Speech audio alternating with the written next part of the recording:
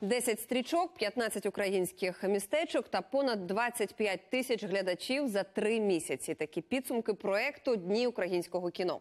Організатори намагалися привернути увагу до проблеми відсутності кінотеатрів у маленьких містах. Що із цього вийшло, знає Ксенія Барвіненко.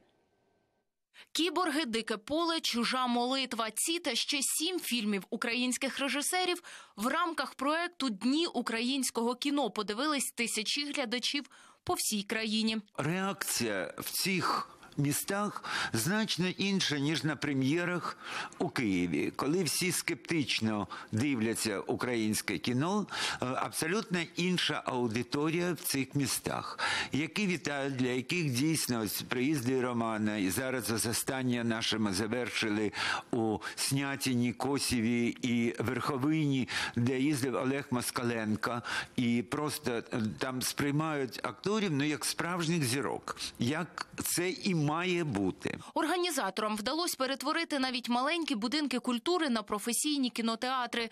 Учасники проекту зізнаються, найважливішим було відчути, що українське кіно надихає глядачів. І всі нас дуже підтримували. І от, наприклад, е, людей постійно на- спочатку було не дуже багато людей в перший день, і до кінця показів е, зал наповнювався. І це, це показує, от, що дуже добре працювало е, саме сарафанне радіо, що люди розповідали один одному, і все більше, більше, більше людей починало ходити.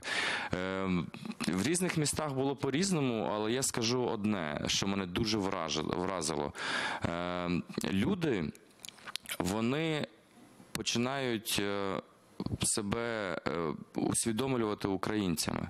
Мета проекту не лише популяризувати українське кіно, а й привернути увагу до малої кількості кінотеатрів. Адже в Україні лише 500 кінозалів та менше 200 кінотеатрів. Ця кількість не охоплює і половини населення держави. Гроші на проект виділили в Міністерстві інформаційної політики. Загалом витратили 15 мільйонів гривень.